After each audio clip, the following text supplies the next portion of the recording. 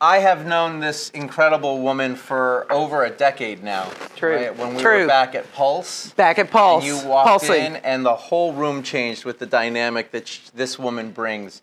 Uh, mortgage banker. Yep. Um, she's been doing it for 23 Three. years. Um, but she has a background, she has a life, and it's been several years since you've had an opportunity to present to us in any format because of what she had mentioned earlier. Her former employer uh, felt that it was inappropriate to market in the ways that we all do for who knows why. But that's in the past. We have a present and a future to look forward to, and I'm so happy about it. We're going to learn more about it. But by way of background, just because it's been so long and we've had several new members come in, I want to make sure that people understand a little bit about the woman that you are.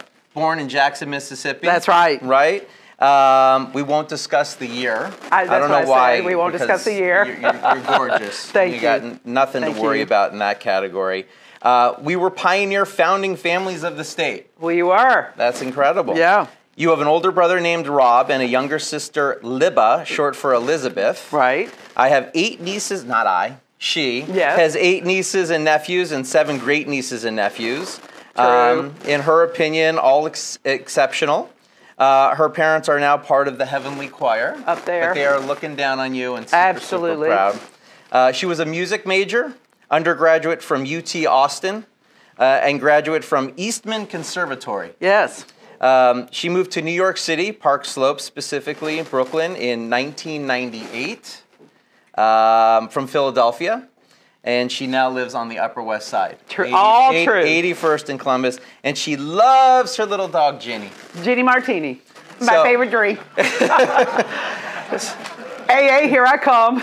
I made me my jog for my drink. So, with that, Yes. we're going to start with your first question, if I may. All right. How does an opera singer decide to live her life in New York and become a mortgage specialist? Good one, Jay. well, you know, it's so funny because, um, well, of course, New York, I came to New York because of music and singing. And, you know, a long way, because being raised in Mississippi, when you think the furthest part of the world is, the Niagara, is Niagara Falls, that's how limited my vision was back then. Um, it took a lot of steps to get to New York. I went from Jackson, Mississippi, to Cleveland, Mississippi, to Austin, Texas.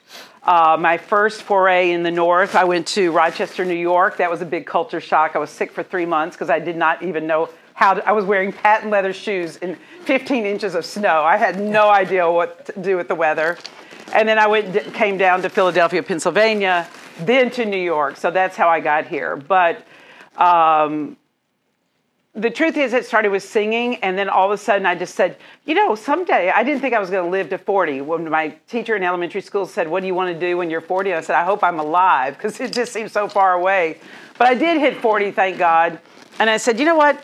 I need to make a li- I need to make a real consistent living. I was fortunate enough to be able to sing solos and classical and with orchestras, but it wasn't consistent enough to realize that I have to fund my retirement. So the long story short is uh, it just fell into my lap. Someone walked into where I was working and said, uh, "Do you know anybody who wants to be in the mortgage business?" And I thought, "Well, I can do that. I can do anything. Okay, let's do it." So th- that day, this man interviewed me, and his name is Darren Fink. I love him to death. And that day is the day that I got hired, and that is the day that my life changed. So, how it all ties together is when I was studying music. Music is very nuanced, especially classical music, and especially classical singing. It is so nuanced and so in the weeds driven. You know, when you sing, it's not the notes, everybody, it's what's between the notes, it's the thread. If I'm saying I love you in a song, the words I love you are very important, but what happens between that I, the love, and you? There's an energy. And it's that nuance, that studying of the words, that drilling down is what has translated into my career as a mortgage banker and mortgage now originator or broker It is the love for guidelines. It is the drilling down. It's finding the space between the words that is what has made me thrive in this industry. Where's Darren Fink today? Darren Fink is still working in my foreign. We followed each other. I went. We, I was at Chase for ten years with Darren. Then we both j- jumped the stagecoach together. I'm trying to get him to start the Manhattan branch of Cross Country Mortgage with me. So let's see what happens. Bring him into our room. I'd love to meet him. He's the best. That's He's the very best. nice. All right. So, with uh, regard to your professional uh, responsibilities and all that you do on a daily basis, Right. I'm sure you have one great professional achievement that you'd like to share with us today. Anything come to mind?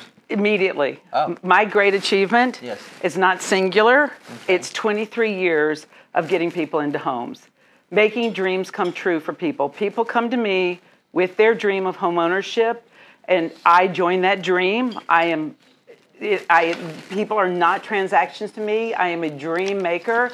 And when they come to me with that dream of home ownership, I join them hand in hand and we get to the end. It may not be the best ride. It may come with some hair, lots of hair, but I'm telling you, I don't abandon ship and I never lose sight of people's dreams. So that is my true great achievement. That's a great answer. well, it's the truth. I love it. Thank you. Well, you are now starting and embarking on this new endeavor. That's uh, right. with a with a with a new bank, and it hasn't been all that long. And I think that there's a lot to learn, at least at this moment of time. What you're able to do now with Cross Country Mortgage that you may not have been able to do previously That's right. for us, your clients, and so on. So at Cross Country Mortgage, it's a what's known as a correspondent lending. So they have their whole array of products, just like banks. The standard vanilla products, good old 30-year fix, 15-year fix, W-2 employees, bring it all day long. The funnel works. I've never seen anything like how the loan comes in and how the, just the process gets taken. That's the difference between working in a bank and a mortgage brokerage company where all they do is mortgages. The funnel takes it and go and the players come in. This experience is seamless. I've just been blown away by it. But um, so what was the question? Sorry The, my brain- products that you're Oh, able to now so offer your clients. here's what's really thrilling. So i have everything that i could i can do everything that i used to be able to do for 23 years. But i brought a sheet of example of things that are these products are specific to cross country mortgage. These are not brokered out products. These are our products but look at all the other things that I can do. I used to find myself saying no to all these opportunities, and now the answer is yes. All of these signature products are for people who basically don't show income.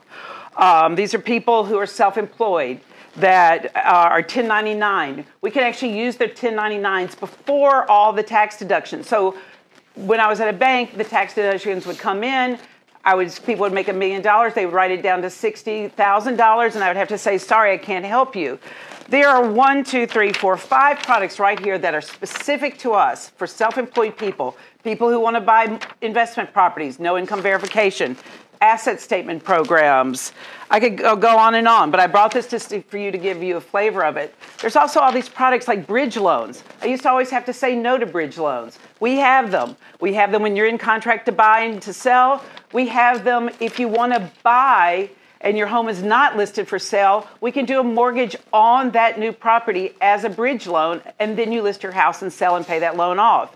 We have we can do HDFC loans. That's those are co-ops with income and asset restrictions. I used to have to say no to those programs. I can say yes now. So it's just opened up 196 other products that special investors are willing to do and buy from us or or in these case we will hold on our portfolio. It's just, it's opened up a world. And here's the thing everybody. You have to be able to pivot. Banking served me. It doesn't serve clients anymore. This world is where all people are being served. And that's what i find exciting about this opportunity and why i was so willing to jump on it and make the shift at, at, at this point in my career. That's awesome to know. Yeah. I love it. So you've always uh, been very open with us, usually Right. at the beginning of the year. Right. You're a goal oriented person, you're very focused on achieving certain levels. Um, and I haven't heard that yet this year from you. So my next question for you is you have shared your goals with the group in the past. Right. Never have we had so many real estate agents and real estate related professionals in the group. What do you hope to achieve this year as a result of your relationships within the group and or generally? Well, that's very sweet. So, um, you know, obviously, I want to be a trusted source to you all. Um, you know, everybody has their own style of what they like and don't like. I mean, I have a typical way of I, I communicate through a process. If you want more, I want to hear about it. If you want different, I want to hear about it because I want to be your trusted source and I want there to be open communication so that I can help your buyers achieve their dreams. And in doing so, hopefully, shine a spotlight on all of you who refer to me, that people will be grateful for the, for the connection. And they, they will always remember you as the one that introduced you to me, that got them into their home. And I think that I would like just to continue to meet with all of you and continue to tell you more about all these opportunities so that you can know when you're out there talking to your friends and your colleagues, what are the things that I'm looking for? My goal is to, um, I'd like to close in this year in this new bank in this environment. I'd like to close $100 million. Whoa. That's always my target. Wow, you went up. It's, it's always have, my target. 60 million in my head for some reason. Well, that was that was one year, but no, I'm I'm I'm all in on this. I Wow. want a hundred million dollars, everybody. So please We can keep your it. ears and eyes open. Let's help Yeah. you get there. All right. Well, as your parents look down on you, Yes. what do you think they are most proud of? Oh God, you're gonna make me cry. That's what I'm here to do. Um, I just hope they're proud of me. You have a lot to be proud of. I did it, y'all. I escaped Mississippi and uh, came to. I escaped. I came to New York. I made it in New York. I'm Frank Sinatra. If I can make it here, I can make it anywhere. And I just hope they're proud. And I hope that I am a reflection of how beautiful they were. Unbelievable. Love it. Yeah. I wasn't expecting to cry, Jay. Now I know. I'm getting better at this. yeah. I'm kidding. You're the first was one. the Was that the first one that you made cross Yeah, to I date? so. Okay. I think so. Yeah. But we got them laughing now as well. Oh, good. So Thank that's you. good. Enjoy the laugh. So I'm gonna recycle one that's I think been interesting for most of the interviewees. Where do you see yourself in 10 years from now? Oh gosh, doing the same and more and better and bigger and louder. yeah. Really? Is Can it it get possible? bigger, louder? and louder. Oh, it is love it. possible, and I plan to be that person in 10 years. All right, the last one before I release you from the hot seat. Oh, on I've this had a great beautiful time. day of Love on Love Day. Yes, right? tell me, tell me, yes. What are some words of wisdom Oh, that you live by that you'd like to share with the rest of us? my words of wisdom are like my business card with this heart. I really hope that all of us in our life, because it's, I've quoted this many times in this room, it's what Maya Angelou says. It's not what you do, it's not anything like that. It's just how you make people feel. And I really hope for all of you in your business and your personal life that you really keep that in mind because you never know in your passing what you are putting into people and giving to people that they're going to remember. And I really hope that everyone lives their life as my, my mission statement is to spread more love into this world, to awaken and spread more love into this world. And I hope that all of you on this Love Day, with my pin on you, it will be a reminder to please always step into love, spread it. Time is short. It really makes an impact and it really can change the course of your life and everyone's life around you. I want you to pay particular attention to the energy between these words. Okay? I love you. Ah.